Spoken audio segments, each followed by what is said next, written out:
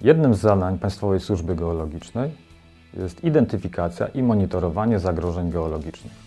W Centrum Geozagrożeń Państwowego Instytutu Geologicznego zajmujemy się zagrożeniami wywołanymi osuwiskami, zapadliskami, wstrząsami sejsmicznymi oraz osiadaniem.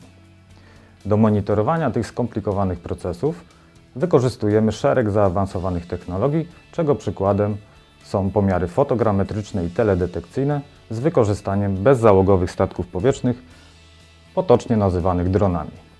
Na wyposażeniu Centrum Geozagrożeń mamy kilka dronów, do których w zależności od stopnia skomplikowania terenu mamy możliwość podłączenia różnych sensorów.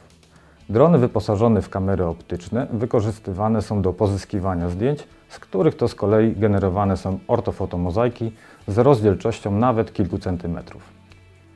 Do precyzyjnych pomiarów powierzchni terenu wykorzystujemy drony ze skanerami laserowymi, które ze względu na możliwość rejestracji wielu odbić wiązki lasera pozwalają zobrazować powierzchnię terenu nawet na obszarach pokrytych gęstą roślinnością. Na podstawie cyklicznie pozyskiwanych danych wykonujemy analizy czasowe, których wynikiem jest informacja o wielkości przemieszczeń pionowych i poziomych. W przypadku osuwisk o dużej kinematyce możliwe są również prognozy kierunków dalszego rozwoju osuwiska w przyszłości.